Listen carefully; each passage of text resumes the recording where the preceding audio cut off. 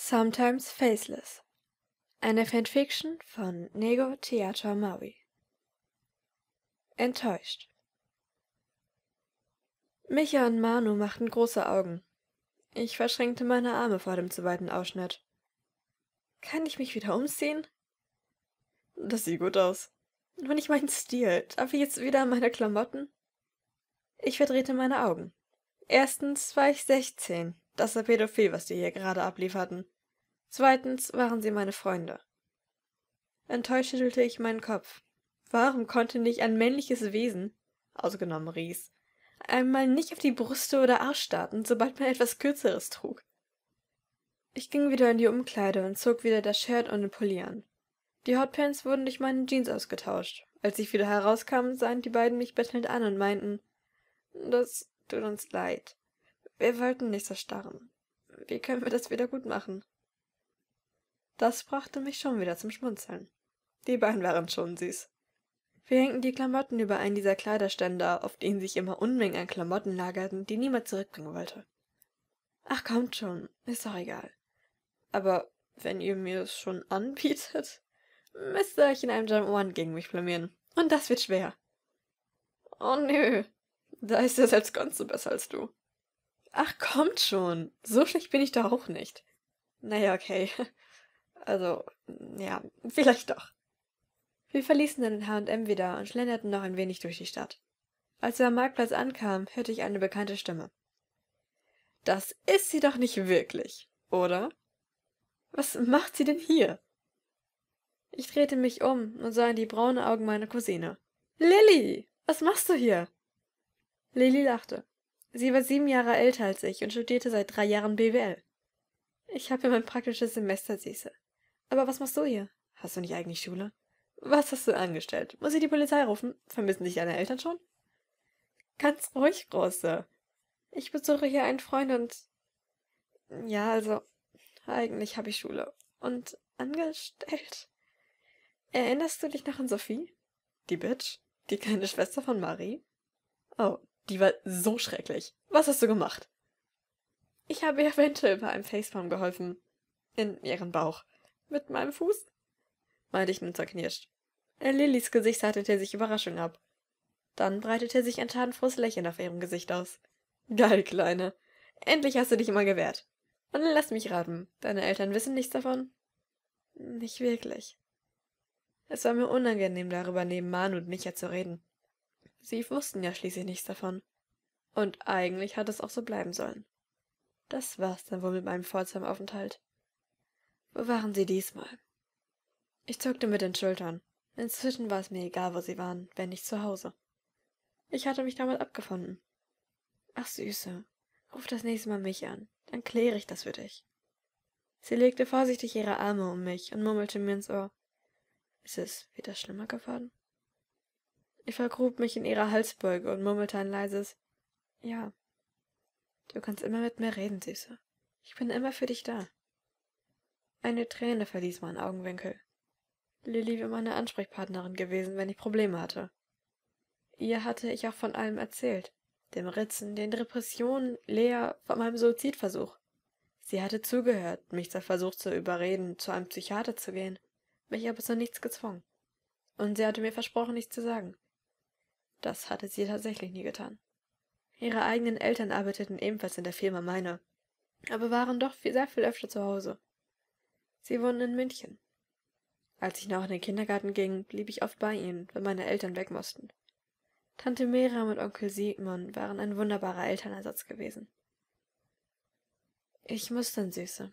Meine Pause habe ich jetzt wohl eh schon total überzogen. Sie lachte. Aber ich konnte die Trauer aus ihrer Stimme heraushören. Und das machte mich traurig. Ich hatte mal wieder jeden enttäuscht. Ich konnte nichts. Nicht einmal die Menschen, die mir am wichtigsten waren, zum Lächeln zu bringen. Wenn ich da war, brach alles zusammen. Ich war der Teufel in Person. Am liebsten hätte ich diese Gedanken vertrieben, aber es entsprach der Wahrheit. Ich war schrecklich. Lilly war traurig wegen mir, Manu und Micha enttäuscht, dass ich ihnen nichts gesagt hatte. Meine Eltern verzweifelten an mir, und wenn Ries das alles hören würde, würde er auch nicht mehr mit mir befreundet sein wollen. Mir wurde gerade alles zu viel. Ich konnte nicht mehr. Ich konnte nicht stark sein. Das war einfach nicht ich. Ich war zerbrechlich, verletzt und würde niemals wieder die Family von früher sein. Ich würde an der Welt zerbrechen. Und vielleicht sollte ich das Leiden verkürzen. Es wäre besser für alle Beteiligten. Manes Stimme holte mich wieder in die Gegenwand. Ich denke, wir sollten zurückgehen. Dado wartet sicher schon. Ich folgte den beiden in sicherem Abstand. Zu Ries? Das war der letzte Platz, an den ich gerade wollte. Er würde nichts mit mir zu tun haben wollen, wenn er all das wusste. Innerlich sträubte sich alles in mir, doch ich wusste, ich musste dorthin. Wegrennen ist nicht die richtige Lösung. Aber eine. Ich hatte wegrennen wollen, dem Tod geradewegs in die Arme. Wie leer. Aber der Tod hatte mich von sich weggestoßen und zu den Lebenden verbannt. Ich bin weggelaufen. Du wolltest weglaufen. Das ist ein Instinkt, und Instinkte sind richtig. Sie schützen dich. In diesem Fall nicht. Sie würden mich umbringen. Ich würde mir nur noch mehr Vorwürfe machen. Langsam würden sie mich von innen heraus zerfressen und mein Herz und Gehirn mit bitteren Gedanken verseuchen, die sich dort schon eingenistet hatten. Was ein einziger Nachmittag bewegen könnte. Ich war Micha und Manu näher gekommen, hatte mich nur ein wenig später aber schon wieder von ihnen entfernt. Wir waren an Rieds Haustier angekommen. Micha drückte auf die Klingel und kurz darauf erklang das elektrische Summen der Tür. Das bedeutete, die Tür wäre nun offen. Wir gingen hinein, und bei jeder Treppenstufe wuchs die Angst in meiner Magengegend mehr. Es waren 84 Stunden bis zu Maurice Wohnungstür. Ich hatte jede mitgezählt. Dort drückte mich erneut auf die Klingel, auf der in ordentlichen Buchstaben Dorst stand. Als Maurice die Tür öffnete, mit einem breiten Lächeln im Gesicht, das jedoch sofort verblasste, als er Manus und Michas ernste Blicke sah, drückte ich mich schnell an ihm vorbei in sein Bad.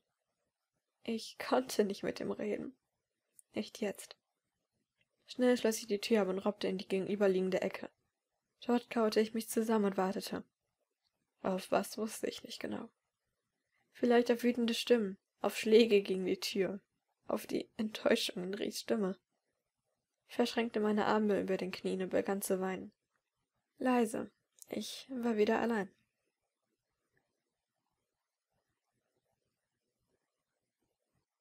Fernkontrolle. Ich hatte sie wieder alle enttäuscht. Niemals würden sie wieder etwas mit mir zu tun haben wollen. Warum sollten sie auch?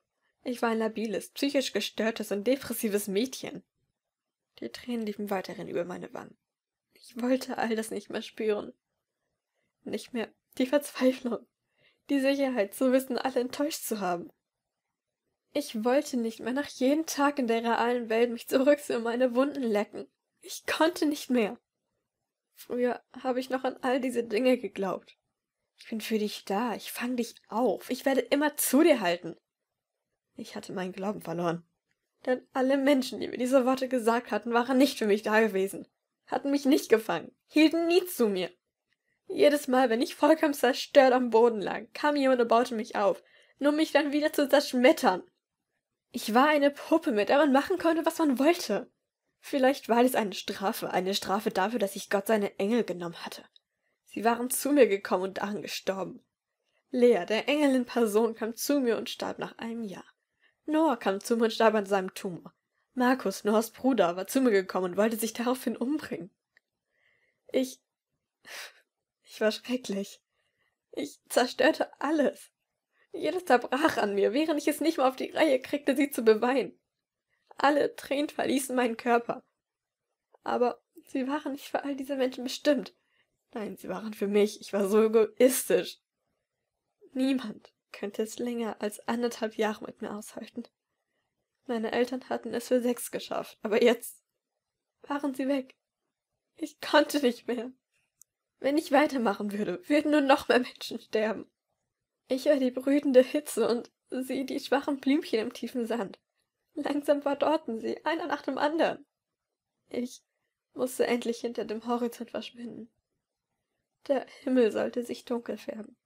Der lange sehnte Regen kommen. Vermee, mach die Tür auf. Ich will doch nur mit dir reden. Und mich danach wegschicken? Nein, danke. Darum wirkte, als hätte ich ihn gefüllt mit Tränen. Ich konnte nicht mehr atmen. Meine Sicht verschwamm. Ich schwamm auf einer Holzplanke im tiefen Ozean, der mich jederzeit verschlucken konnte. Alle Beleidigungen, die mir je in den Kopf geworfen wurden, verschwammen in einem Brei aus Wortfetzen. Alle tönten laut in meinen Ohren. Ein leises Wimmern verließ meine Lippen. Es sollte aufhören. Ich versuchte doch, ihm zu gefallen, ihn alle Wünsche zu erfüllen, denn ich wollte akzeptiert werden. Und wenn ich das nicht als ich selbst werden konnte, dann als jemand anderes. Ich wollte doch nur normal sein, ein Freundeskreis des Gleichaltrigen haben, der mich akzeptierte. Vielleicht einen fressenden Freund, jemand, der mich liebte, wie ich war. Glücklich sein. Ich wollte wieder glücklich sein. Jemanden lieben können. Wissen, dass er oder sie mich niemals verletzen würde. In Sicherheit sein. Aber ich war hier. Ich war in Versuchung, nach etwas zu Hafen zu suchen. Ich hatte zwar einen Freundeskreis, aber dieser bestand hauptsächlich aus älteren Männern. Aber es war auch nicht mein Freundeskreis, wenn ich ehrlich war. Es war Faceless. Ich wollte wie sie sein. Beliebt und glücklich mit vielen Freunden. Bewundert. Micha und Manu hatten Ries bestimmt schon alles erzählt. Er hasst mich jetzt. Ich hatte ihm nichts erzählt, obwohl er es wollte. Ich war schrecklich, verrückt, aber in der boshaften Variante. Mein Gehirn funktionierte nicht mehr wie das eines gesunden Menschen. Aber was sollte ich denn schon tun? Ich war sechzehn. Ich war schwach, ich konnte das nicht. Nicht nicht weiterleben. Konnte nicht weiter ein Versprechen brechen und Menschen, die mir nahestehen, enttäuschen. Menschen zerstören. Die Trauer in ihren Augen sehen. Die Verzweiflung. Denn sie wussten, dass ich mit meinem Leben abgeschlossen hatte. Vor ein paar Monaten hatte ich mit meinem Psychiater geredet. Er hatte mich gefragt, wie ich mir meine Zukunft vorstelle. Ich hatte ihm geantwortet, da gäbe es nicht viel. Er hatte sich das notiert. Sicherlich dachte er, ich stelle ihm ein langweiliges Leben vor. Nein, so war es nicht. Ich stellte mir ein kurzes Leben vor. Ich hatte mir ein halbes Jahr gegeben. Zu diesem Zeitpunkt wusste ich, ich konnte es nicht mehr lange auf dieser Welt aushalten. Das Datum war schon seit einigen Wochen überschritten. Ich hatte mir ein festes Datum gesetzt. An diesem Tag hatte ich die Antidepressiva abgesetzt. Da hatte ich gewusst, ich könnte mich nicht umbringen, wenn ich positiv dachte. Also hatte ich mit ihnen aufgehört. Anfangs wollte ich zu den geregelten Zeiten zu der Dose greifen. Doch ich verbot es mir. Schließlich wollte ich doch sterben, oder nicht? Ja, ich wollte sterben. Sterben, um zu leben. Es war paradox. Wenn ich einmal tot wäre, würde ich lebendiger sein als hier, in dieser Welt voller Schmerz. Ohne die Menschen, die mir am wichtigsten waren. Es würde mich glücklich machen. Warum tat ich es denn nicht einfach? Ein Wasser schneiden, die Haut zerreißen und das Blut laufen lassen. Es wäre so einfach. Wie in Trance erhob ich mich. Meine Hände suchten wie ferngesteuert nach Ries Ersatzrasierklingen. Hinten im Schrank, hinter einer Ohrstäbchenpackung lagen sie, als hätte Ries versucht, sie vor mir zu verstecken. Aber das war Irrsinn. Woher hätte er wissen, als ich mich in seinem Bad ritzen wollte? Mein Hirn kam nicht mehr hinterher. Oder war mir um Längen voraus. Ich wusste es nicht. Aber das musste es nicht. Meine Hände zitterten, so dass ich die Packung mehr schlecht als recht öffnen konnte. Jedoch schaffte ich es. Zart, als wären die Klingen zerbrechlich, hielten meine Finger sie. Aus Gewohnheit testete ich, wie scharf die Klinge war. Ein Blutstropfen rann über meinen Zeigefinger. Gut, so wird es schneller gehen. Fermi, was auch immer du da drin tust, denke bitte noch einmal drüber nach. Bitte, tu dir jetzt nichts an. Bitte, Famé. Ries Worte erweckten mich aus meiner Trance. Schockiert starrte ich auf die Rasierklinge, die über meinem linken Handgelenk schwebte. Ein metallisches Klirren ertönte. Ich hatte die Klinge von mir weggeworfen. Vielleicht war mein Leben nicht leicht. Aber das ist das Leben nicht. Vielleicht irgendwann einmal, aber nicht heute. Nicht jetzt. Unsicher richtete ich mich auf. Schwankend stolperte ich zur Tür. Meine zitternden Finger drehten den Schlüssel herum und öffneten die Tür. Als ich mein Gesicht hob, blickte ich in Ries verweinte, rote Augen. Ich sah vermutlich nicht besser aus. Ohne ein Wort zu sagen, umarmte er mich, als wolle er mich niemals mehr loslassen wollen. Danke. Es war so leise, dass ich zuerst glaubte, mich verhört zu haben. Warum sollte er sich bedanken? Ich musste mich bedanken. Er hatte mich gerettet. Touché.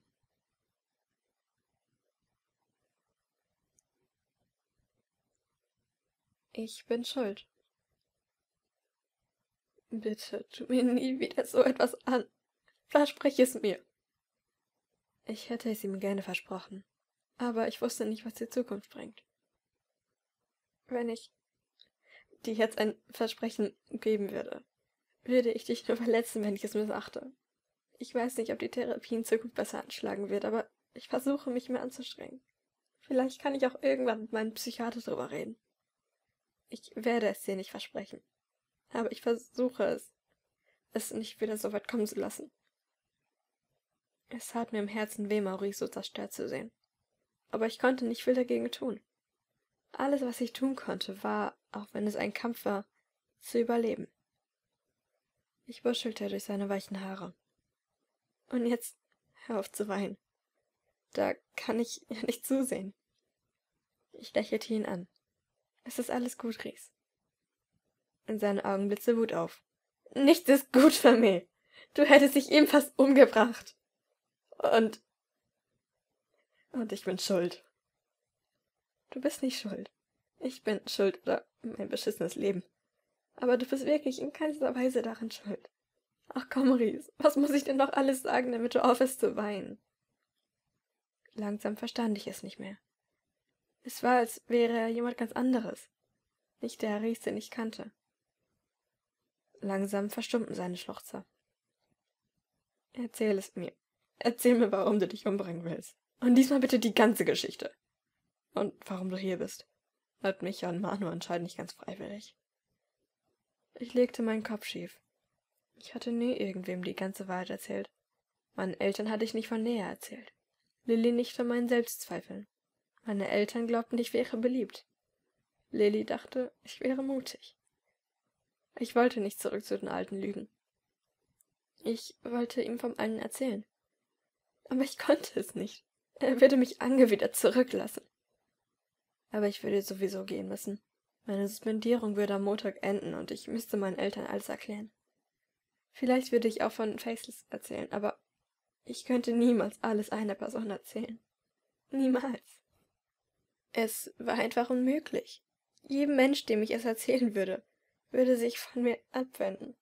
Zwar würde er oder sie es nicht zeigen, aber niemand wollte mit einem geistig gestörten Mädchen gesehen werden.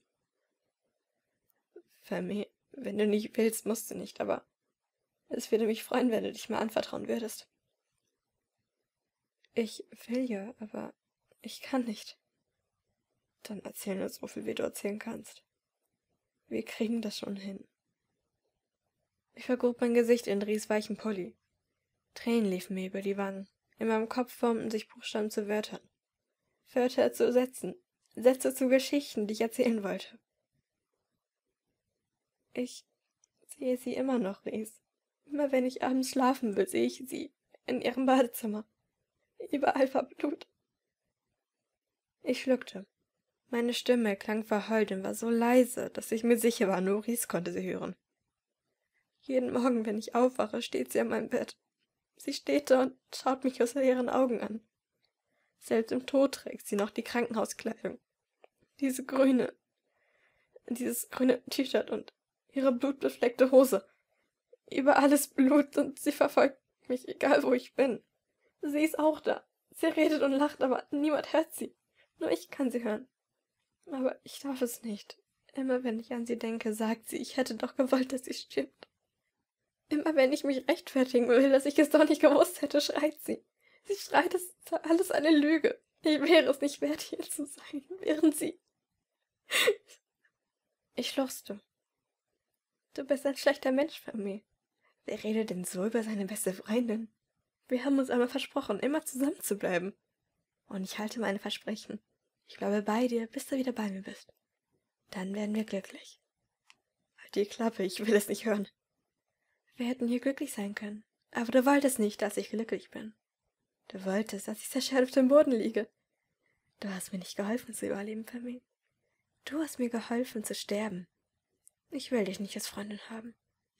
Also werde ich es beenden. Die Lea, die mir gegenüber saß, zückte das Küchenmesser, mit dem sie immer Fleisch für Gulasch geschnitten hatte, und schlitzte ihre Pulsadern auf. Das Leben ist schön, Famille. Das Leben ist schön, solange es vergeht. Meine Augen weiteten sich verschreckt. Ich löste mich aus Ries Umarmung und raubte zu Leas totem Körper. Ihre Augen starrten die Decke an. Es ist schön, mich sterben zu sehen, nicht wahr? Da war wieder dieser Geist ihrer Seele. Sie stand vor mir, während die tote Lea langsam verschwand. Die Tränen rollten über meine Wangen. Warum? Warum immer Lea? Warum konnte nicht ich sterben? Warum konnte sie nicht leben? Du bist egoistisch, Famille. Du willst nur, dass ich lebe, weil du da keine Schuld fühlen musst. Aber du musst das akzeptieren. Ich bin tot. Ich bin tot und du bist schuld. Nein. Ich zog meine Beine an und weinte. Ich konnte es nicht. Ich war schuld. Ich war schuld. Du bist schuld. Ich bin schuld. Du bist schuld. Ich bin schuld. Du bist schuld. Ich bin. Femi, ist alles in Ordnung? Natürlich ist mit dir nicht alles in Ordnung. Sie hockt hier und heult. Aber nein, es ist natürlich alles in Ordnung. Die Stimme von Ries und Manu holt mich wieder in die Gegenwart. Micha hatte sich neben mich gesetzt. Vor sich hatte er mich in den Arm genommen. Ich lehnte mich an ihn und die Tränen versiegten langsam. Die tröstende Wärme, die von ihm ausging, beruhigt mich ungemein. Micha sagte nichts. Er saß einfach nur da und ließ mir die Zeit, die ich brauchte. Meine Finger zitterten. Mein Bauch schmerzte. Nein, nicht mein Bauch. Die Narbe. Von Zeit zu Zeit hat sie unmenschlich weh. Sie war schon zweimal aufgeplatzt. Es hatte nicht schön ausgesehen. Das erste Mal war sie aufgeplatzt, als ich sieben war. Ich war von einem drei Meter Sprungturm gesprungen und hatte einen Bauchklatscher hingelegt. Der Druck war zu viel für die Narbe gewesen. Das zweite Mal war vor drei Jahren. Lea und ich waren auf einen Baum geklettert und ich war abgerutscht. Lea hatte mich zwar wieder hochziehen können, aber da die Narbe sowieso schon sehr angeschlagen war, platzte sie wieder auf. Die Doktoren sagten, es wäre wegen der hohen Anspannung aller Muskeln gewesen. Ähm, Flamé, könntest du aufhören, meine Hand zu zerquetschen? Ich sah auf meine Hand, die mich jetzt fest umfasst hatte. Während ich in Gedanken war, hatte ich es nicht einmal bemerkt. Oh, en Entschuldigung. Wow, du redest wieder. Ich sah mich im Raum um. Manu und Ries waren nicht mehr da. Wo sind Ries und Manu? Da du bist komplett ausgerastet, als du nicht mehr gesprochen hast. Manu hat versucht, ihn zu beruhigen. Jetzt sind die beide gerade in seinem Zimmer. Ähm, Micha? Ich sah mir in die Augen. Ja. Ich gehe morgen. Ich muss mit meinen Eltern wegen der Suspendierung reden. Ich bin froh, dich kennengelernt zu haben. Und zwar nicht nur über den Test. Ganz so kam angelaufen. Er hatte wohl gemerkt, dass es nicht die perfekte Situation war, um nach Leckerlich zu betteln. Ja, ich bin auch froh, dich kennengelernt zu haben, Gonzo. Ein Lächeln zierte meine Lippen. Jetzt war es beschlossene Sache. Morgen würde ich gehen. Es ist Zeit. Und du bist dir wirklich sicher, dass du gehen willst? Du kannst auch hier bleiben. Ich schüttelte den Kopf. Es war Zeit, Abschied zu nehmen. Ich muss wieder in die Schule. Du kannst mich ja in einem Jahr besuchen. Dann habe ich mein Abi und bis dahin reden wir über den TS. Wenn da du dich besuchen darf, will ich auch mitkommen. Ich auch. Micha und Manu streiten mich an. Ich lachte. Meinetwegen. Das müsst ihr nur mit meinen Eltern absprechen. Die hätten nur sein paar Bedenken, wenn auf einmal drei erwachsene Typen vor unserer Haustür stehen und behaupten, mich zu besuchen. Ach, jeder lebt uns. Die werden sich freuen. Ja klar. Besonders bei dir, Manu. Die sind sicher glücklich, wenn sie wissen, dass ihre Tochter mit irgendwelchen komplett geistig Gestörten befreundet ist. Es tat mir wirklich leid, sie jetzt verlassen zu müssen. Vor meinem inneren Auge zogen die schönsten Momente vorbei. Du kennst mich auch. Ich deutete ein Lächeln an. Zombie. Er runzelte die Stirn. Ganz leicht schielte er. Faceless? Micha war in dieser kurzen Zeit zu einem wunderbaren Freund geworden. Er verstand mich auf seine ganz eigene Weise. Und ich verstand ihn. Auch wenn er es nicht gemerkt hatte. Diese Trennung hatte ihn nicht wirklich mitgenommen. Klar, die ersten Tage waren schwer gewesen. Aber jetzt sah man die Trauer kaum noch in seinen Augen. Er hatte sie schon lange nicht mehr geliebt. Micha hatte sich neben mich gesetzt. Vorsichtig hatte er mich in den Arm genommen. Ich lehnte mich an ihn und die Tränen versiegten langsam. Die tröstende Wärme, die von ihm ausging, beruhigt mich ungemein. Micha sagte nichts. Er saß einfach nur da und ließ mir die Zeit, die ich brauchte. Ja, Micha verstand mich. Er wusste, wie er mit mir am besten umgehen konnte, wie er mir am besten helfen konnte und drängte mich nie zu irgendetwas. Das war mir auch schon auf dem Dienstweg aufgefallen. Er war nicht schüchtern, er war höflich. Man konnte sich immer sicher sein, von ihm ein Lächeln zu bekommen. Dafür liebte ich ihn auf eine freundschaftliche Weise. Ich konnte mir mein Leben nicht mehr ohne diesen wunderbaren Jungen vorstellen. Hi, ich bin Manuel. Kannst mich aber auch gerne Manu nennen. Ich hatte das Gefühl, mir würden die Augen rausfallen. Ich musste auch ziemlich dämlich aussehen. Das ist es nicht das, was ich denke, dass es ist, oder? Bitte kläre mich jemand auf. Manu legte seinen Kopf schief. Er dachte nach. Es machte Klick. Wow, war das schnell. Vermeh? Ich knickte knapp. Manu war, seit ich ihn auf YouTube gefunden hatte, ein Vorbild für mich gewesen. Er hatte immer so perfekt gewirkt. Ich war froh, dass es nicht so war, denn wie jeder Mensch hatte er seine Macken. Er machte sich oft zu viele Sorgen, war in den unpassenden Situationen wütend und einfach nur verfressen. Aber ich mochte ihn, egal wie seltsam er manchmal war. Duschen ist nicht dein Favorit, oder wie? Er packte meine Hand und zog mich zum runter. Für dich würde ich sogar das tun. Klar, Manu hatte seine Macken, aber sie waren genauso perfekt wie der Rest von ihm. Ich mochte Manu wirklich. Er hatte sich mir zwar noch nicht wirklich geöffnet, aber das würde auch nicht zu ihm passen. Er war misstrauisch. Er war ein Einzelgänger. Und deswegen mochte ich ihn so sehr. Er verstand mich, wenn ich alleine sein wollte. Denn er wollte auch oft alleine sein. Wir waren uns einfach ähnlich. Leichte, federnde Schritte waren zu hören. Das Türschloss wurde aufgesperrt und die Tür öffnete sich. Mein bisher auf dem Boden gewankter Blick hob sich und sah die Augen, die mir Sicherheit, Freiheit und Geborgenheit versprachen. Vermeh. Maurice? Er öffnete seine Arme und ich fiel in seine Umarmung.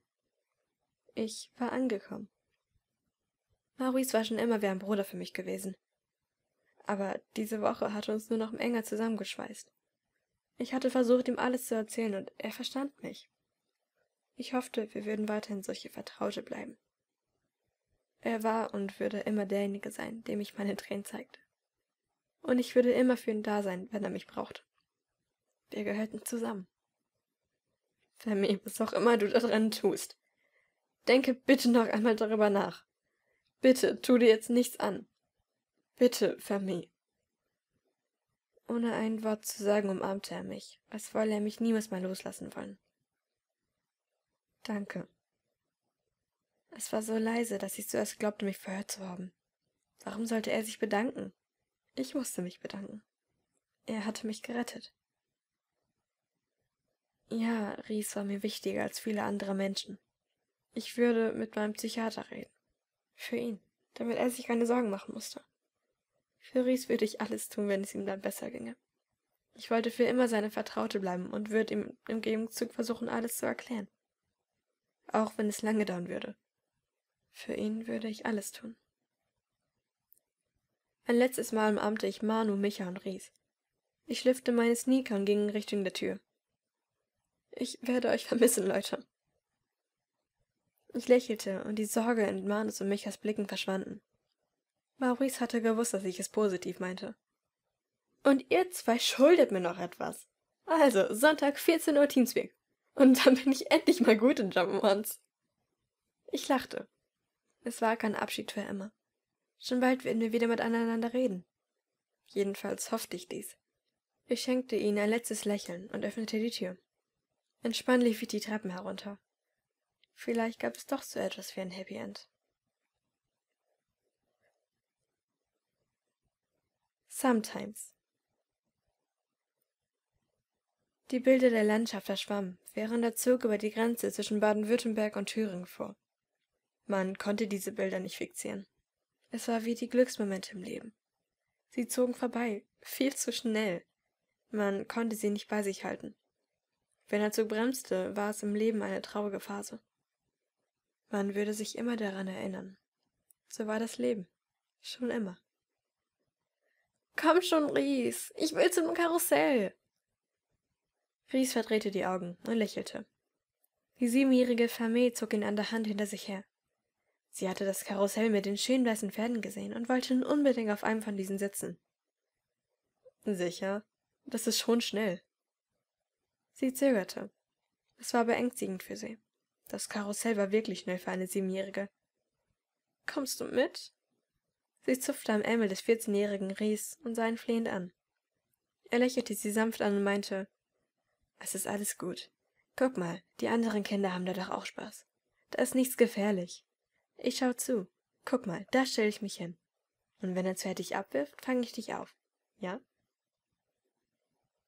Warum hatte er mich nicht aufgefangen? Ja, in diesem Moment, da war alles gut gewesen. Aber als ich später gefallen bin, in dieses Loch, an dessen Ende nur der Tod lauert, da hatte er mich nicht gefangen. Er hatte mich fallen lassen. Ich war ihm egal. Nein, hör auf so zu denken. Du bist ihm wichtig. Hast du nicht seine Tränen gesehen? Er hatte Angst. Um dich. Du bist ihm unendlich wichtig. Es war dein Fehler. Du hast ihm nichts davon erzählt. Schalte ich mich selbst. Wie konnte ich nur so von Ries denken? Er durfte so von mir denken. Schließlich wäre alles wahr, was er sagen würde. Er würde mich nie anlügen, nicht wahr? Und ich wollte ihn auch nicht mehr anlügen müssen, wenn ich sagte, es ginge mir gut. Vielleicht konnte mein Psychiater etwas dagegen tun. Wenn es Maurice ging, wenn er dann glücklich wäre, könnte ich mich eventuell sogar überwinden. Er sollte lächeln. Er hatte das Recht dazu. Mehr als ich. Wenn ich etwas dafür tun könnte, würde ich alles geben. Lächeln. Ich wollte es wiedersehen. Das Lächeln, das mich so oft nach der Schule begrüßt hatte. Das Lächeln, das mich alles Schlimme vergessen ließ. Oh Gott, warum klang das so, als wäre ich in Ries verliebt? Ich war's nicht. Ähm, oder? Also ja, ich liebte Maurice. Aber auf eine andere Art. Ich liebte ihn als die Person, die immer für mich da war. Ich liebte ihn als denjenigen, der mir ein Lächeln auf das Gesicht zaubern konnte. Aber ich liebte ihn nicht. Oh Gott, diese Vorstellung war so falsch. Als Vater meiner Kinder. Vielleicht sollte er irgendwann einmal der Patenonkel werden. Schließlich sollte der Patenonkel sich um das Kind liebevoll kümmern, wenn den Eltern etwas zustoßen sollte. Ich konnte ihn mir wirklich als nichts liebevolleres vorstellen. Ich wollte ihn nicht auf mich warten vor dem Altar stehen sehen. Ich wusste nicht, wollte ich heiraten? Wollte ich überhaupt Kinder? Ich konnte mir nichts Schöneres vorstellen als das Lachen meines eigenen Kindes in meinen Ohren. Aber was, wenn es wie ich werden würde? Depressiv, wenn es sterben wollte. Das wollte ich nicht. Wer weiß, vielleicht würde meine Vergangenheit auf mein Kind abfärben. Was, wenn ich eine schreckliche Mutter wäre? Dann immer noch Probleme mit mir haben würde. Ich wollte meinem Kind keine depressive Mutter zumuten. Aber wer weiß, vielleicht würde ich ja irgendwann meine Traumfrau heiraten. Wir würden zwar auch ein Kind zeugen können, dank der neuesten Technologie, aber vielleicht wären wir eher ohne ein Kind glücklich als in einer Märchenbeziehung. Mann und Frau liebend, waren da Kinder nicht vorprogrammiert? Ich wollte das nicht. In meiner Welt würde es niemals das Wort Märchen geben. Oder ein Happy End. So etwas gab es nicht. Nicht für mich. Wäre es nicht wirklich für jeden besser, wäre ich tot? Wer wusste das schon? Da stand ein Mädchen, brustlanges, dunkelblaues Haar, vor einem Spiegel, ein schwarzes Kleid, trägerlos hielt sie in der Hand. Zweifelnd blickte sie in den Spiegel, fragte sie sich, ob sie hineinpassen würde, ob es ihr stehen würde. Dann trug sie es, drehte sich, beobachtete den sanften Fall des bodenlangen Kleides. Es musste ein dünner Stoff sein, Satin und etwas Tüll. Es war wunderschön. Verwirrt blickte sie in den Spiegel. Sie sah gut daran aus. Das Mädchen, welches mir so ähnlich sah, hielt die Haare hoch, als würde es ein Dutt tragen. Zufrieden nickte sie. Ich würde niemals so aussehen. So wunderschön. Ich beneidete das Mädchen. Sie wirkte selbstbewusst. Ihre Augen wirkten riesig durch die smoky Eyes in langen Wimpern. Die Stupsnase wirkte niedlich. An ihrem Handgelenk war ein Armband. Vielleicht auch eine darum gewickelte Kette, an dem viele kleine Anhänger befestigt waren. Sie wirkte glücklich, auch wenn er der Zweifel in ihren Augen war. Der Zweifel, dass die Leute sie auf ihren Namen ansprechen würden. Die Risse, die in ihrer Haut durch die Klinge, ihren treuen Begleiter geschnitten worden waren. Aber ihr Blick festigte sich. Sie hob den Brustkorb selbstbewusst und schlüpfte in unauffällige, schwarze Sneaker. Weiße Sohlen, schwarze Schnürsenkel. Kein Schnickschnack. Das Mädchen legte sich aufmunternd zu. Das wird schon. Du wirst nach Oxford kommen. Komm schon, das war immer dein Traum. Sie legte sich noch einmal zu und ging dann aus der Tür. Sie würde zu ihrer Abifeier gehen. Heute würde ihr ein Traum erfüllt werden. Oxford. Rechtswissenschaften. BWL. All das. Nur weil ihre Direktorin sie mochte und die Schwägerin eines hohen Tieres dort war. Das Mädchen hatte wirklich Glück. Jedenfalls jetzt. Es würde nun alles gut werden. Es würde alles gut werden müssen, um all die Ungerechtigkeit ausgleichen zu können. Und das würde passieren.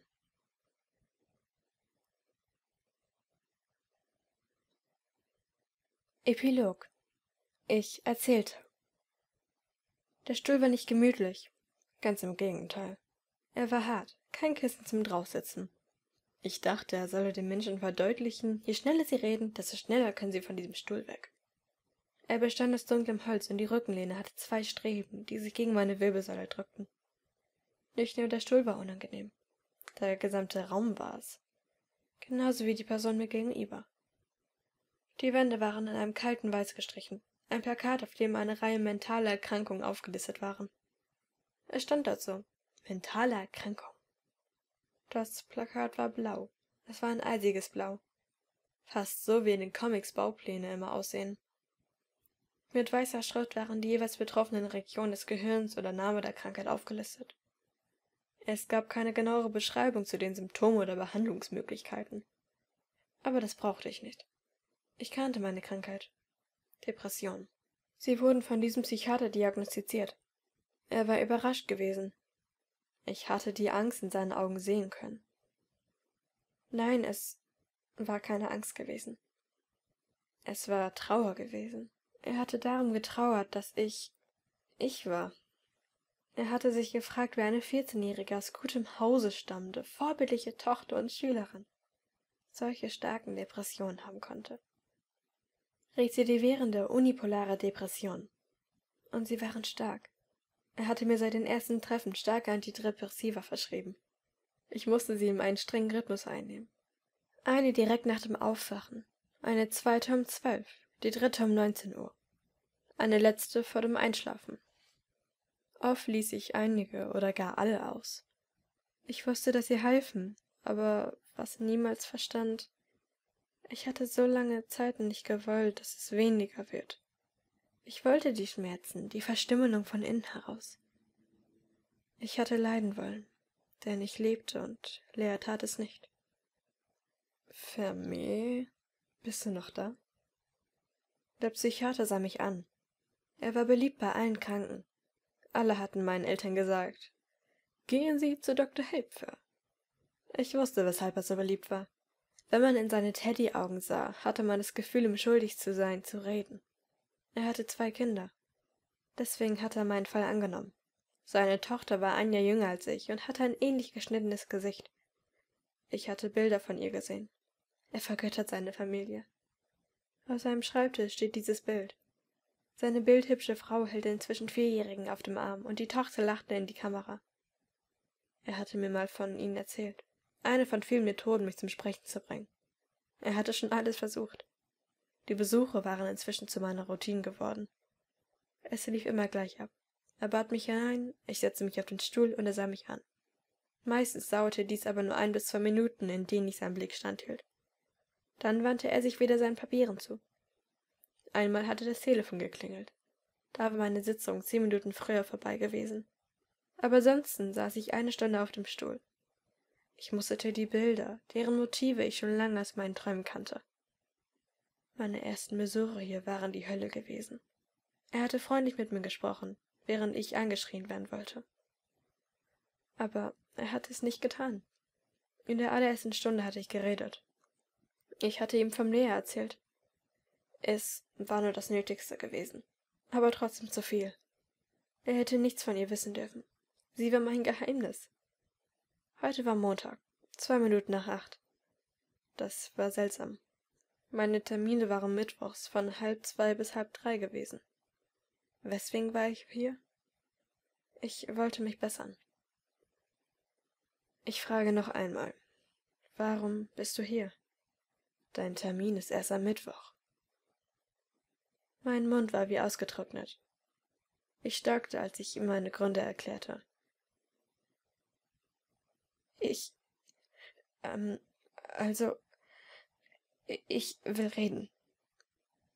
Über Lea? Ich schüttelte den Kopf. Deinen Eltern? Wieder schüttelte ich den Kopf. Ist irgendetwas in der Schule? Ich will dir helfen, Fammy. Aber das kann ich nicht, wenn du mich nicht lässt. Es. Ähm, es ist. In, es ist nichts in der Schule. Und nach kurzem Zögern fügte ich hinzu. Nicht nur. Es. Ähm, es ist überall, wissen Sie?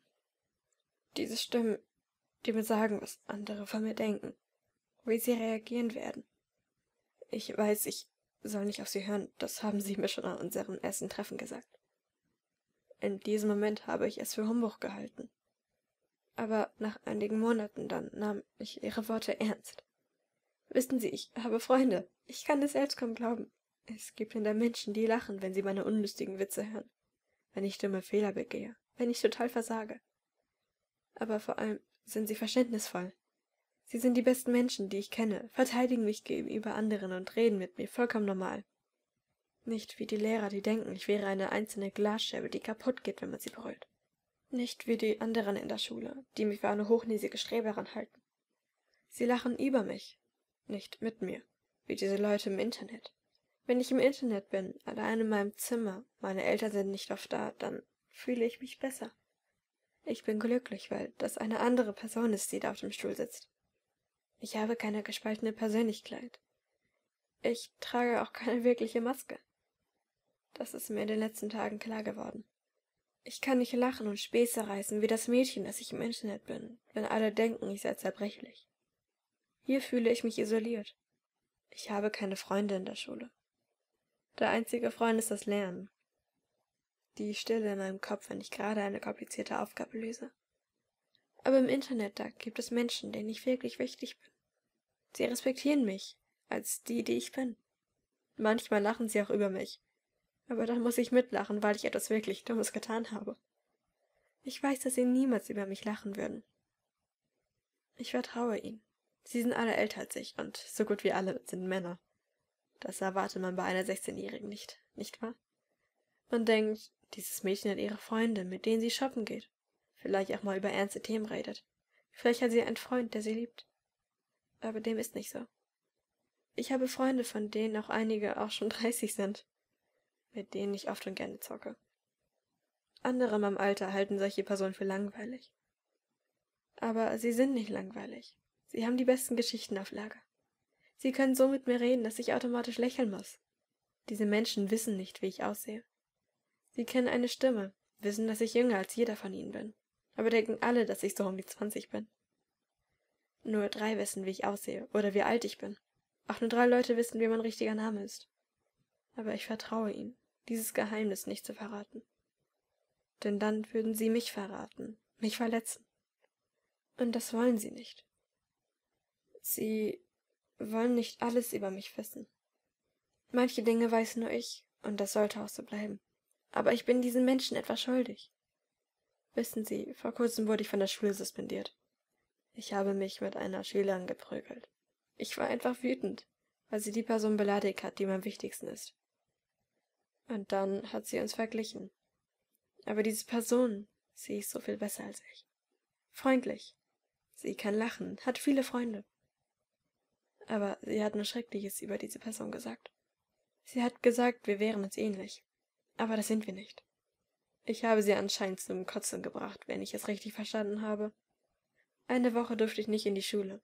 In dieser Zeit war ich bei besagten drei Freunden. Ich habe schon länger kein Antidepressiva genommen. Ich habe mir nicht viel Zeit gegeben, um zu sterben.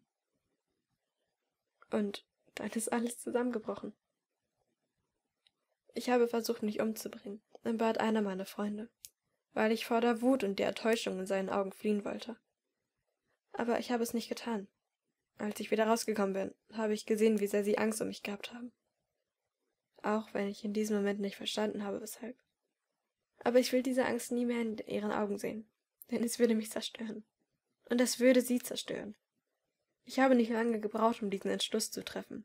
Es war Hals über Kopf. Ich weiß, dass Sie mich seit zwei Jahren versuchen zu behandeln. Ich weiß, dass ich ein schwieriger Fall bin. Aber würden Sie mal glauben, wenn ich Ihnen sage, dass ich versuchen werde, Ihnen alles zu erzählen? Und alles zu erklären? Die Betonung liegt auf Versuchen. Ich kann Ihnen nicht versprechen, wie viel ich sagen werde, oder dass Sie es verstehen werden. Vielleicht werde ich an einem Tag nur einen Satz, ein Wort sagen, aber ich werde etwas sagen. Etwas zu meiner Geschichte. Und wenn ich es nicht sagen kann, werde ich es aufschreiben. Ich kann mich besser ausdrücken, wenn ich schreibe. Aber um auf den Punkt zu bringen. Ich bitte Sie, ich flehe Sie an, helfen Sie mir. Ich kann mir nicht selbst aus diesem Loch helfen. Aber vielleicht können Sie es. Ich kann nicht entschuldigen, dass ich in den letzten zwei Jahren geschwiegen habe. Ich kann nicht entschuldigen, dass Sie Ihre Zeit mit mir verschwendet haben. Aber ich versuche mich zu bessern. Und ich würde mir wünschen, dass Sie mir helfen. Ich sah den Psychiater flehend an. Er wirkte sprachlos. Er hatte schon lange kein Wort mehr von mir gehört. Und jetzt waren es viele gewesen. Sehr viele. Langsam nickte er. Ich habe gesagt, ich will dir helfen. Aber ich kann es nur, wenn du mich lässt, und es sieht so aus, als würdest du es zulassen. Mehr sogar. Du versuchst mir zu helfen, dir zu helfen. Das ist mehr, als viele andere Patienten versuchen. Ich verlasse mich auf dich, Famille. Wenn du am Mittwoch kommst, würde ich mir ein paar Worte aus deinem Mund wünschen. Es müssen nicht viele sein, aber ein paar mehr. Mehr als Hallo und auf Wiedersehen. Ich werde dir helfen, solange es geht. Solange ich kann. Er machte eine Pause. Dann griff er in eine der zahlreichen Schubladen seines Schreibtisches und holte ein schlichtes, schwarzes Heft hervor. Du hast gesagt, du kannst dich besser ausdrücken, wenn du es aufschreibst. Also, wenn du jemandem etwas erzählen willst, kannst du es hier reinschreiben. Ich werde es nicht lesen, nur wenn du willst, dass ich es lese. Diese Bücher haben schon vielen Menschen geholfen. Aber ich habe gemerkt, dass du nicht wie alle anderen bist. Vielleicht hilft es trotzdem. Versuche es, wenn du willst. Lass es, wenn nicht. Beides ist in Ordnung. Er drückte mir das schwarze Buch in die Hand. Auf dem Buchdeckel war in schnörkeligen Buchstaben geschrieben Dear Diary. Ich nickte. Ich würde es versuchen. Und jetzt geh. Ich konnte ja nicht wie sonst meine Sachen erledigen. Er zwinkerte. Das war der erste Moment, in dem ich verstand, wirklich verstand, was alle an ihm mochten. Er war nicht wie ein Doktor, eher wie ein Freund. Auf Wiedersehen, Herr Helfer. Bis Mittwoch. Ich war aufgestanden und zur Tür gegangen. Bis Mittwoch, Famille. Hinter mir schloss ich die Tür. Das Buch an meine Brust gepresst. Ich nahm meine Tasche von der Garderobe und stopfte es dort hinein. Als ich endlich die Praxis verließ, atmete ich tief ein. Ich würde mich bessern. Ich würde es versuchen. Für Micha, für Maurice, für Manu, für Lea, für mich.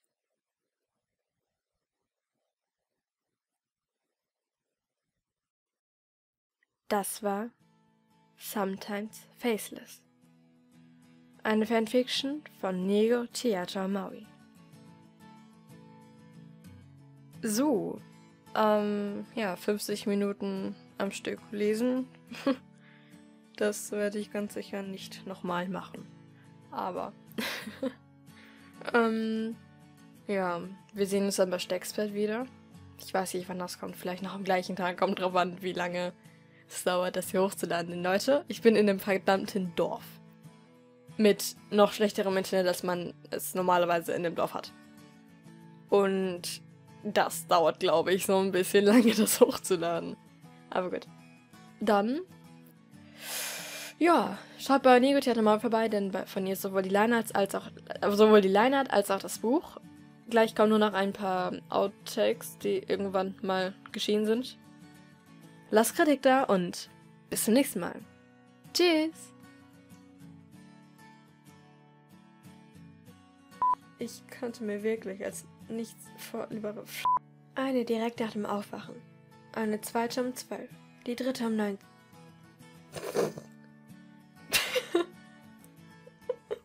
Handy.